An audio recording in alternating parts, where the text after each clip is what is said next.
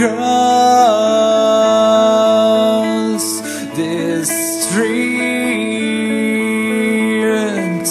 and calls your name like a